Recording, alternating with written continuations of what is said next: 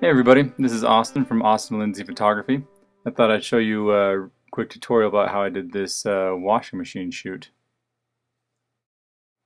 So here's a little bit of video I have from a camera I brought. It's supposed to be a little bit longer, but the batteries in it ended up dying. So we have uh, just the one washer and the one model. Um, because of time constraints, we were only able to have one model there at a time. But we set up the uh, washer so that there was one side that was her side with the Cheetos and all the clothing, and then the other side was his side with the uh, cleaning products and the neatly folded laundry. Um, and basically, I just decided to set up two side lights and a front, uh, the top key light, and that was the lighting for uh, this shoot.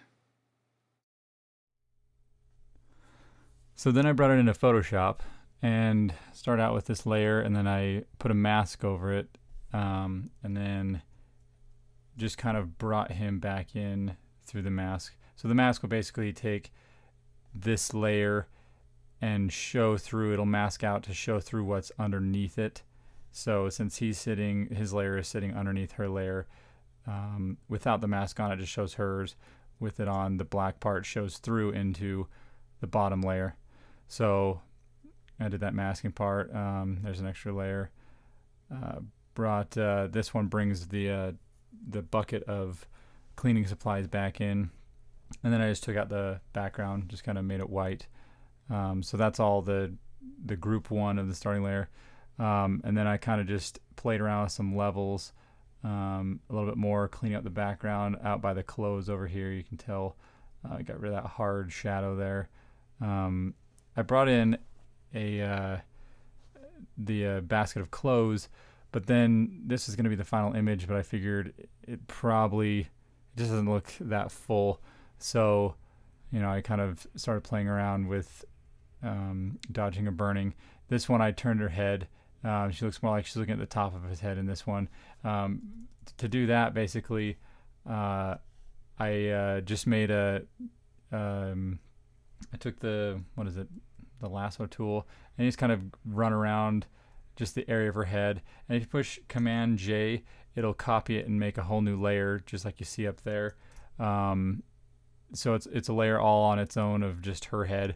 So then I just free transformed it, which is Command or Control T. Um, and then you can just kind of turn it around. I think you can probably see, yeah, you can see the layering or the box around it, and you can turn it however you want to.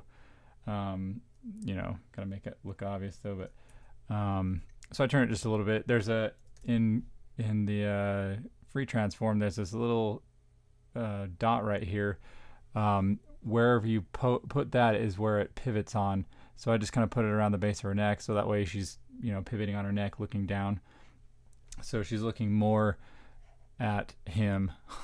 so uh, then I found a, a ground or a floor um, online, and I just kind of I played around with a few different floors, but this one looked the best, so I left that in there. Um, and then I decided I want to put a few more washers in, so I put a washer in to the left, um, and played around with a lot of layers there, um, because that was the original layer. Uh, that one's the layer with the the top knobs and everything. Um, just kind of played around with some shadows um, and made it look a little bit more realistic and, and grouped those all in and then put a, a right washer. So that one covered up the clothing basket. Um, that one, there's the original. And as you go along, you can see more shadowing and a little bit, a little bit more realistic. Um, and I wanted the clothes basket in there again, so I put it back in there. Let's see, where's the original layer? There's the original layer of it, and then just kind of did a little bit of shadowing below it. Um, kind of made it a little bit darker. So, and that one's probably the least realistic thing in the photo, but it still kind of gives it a little bit of character, I think. Um, I played around with doing a, a rolling cart, but this would just been so so tedious and time consuming just to cut out um, between all the wiring, so I just didn't do that one. Um, and then this last layer right here is just a little bit of it's a, kind of a desaturation layer just because I didn't like it so super saturated. So that's um, pretty much how I did this one. If you have any uh, questions or anything, uh, leave them in the comments area. I'd be happy to answer any questions you have. Thanks for watching.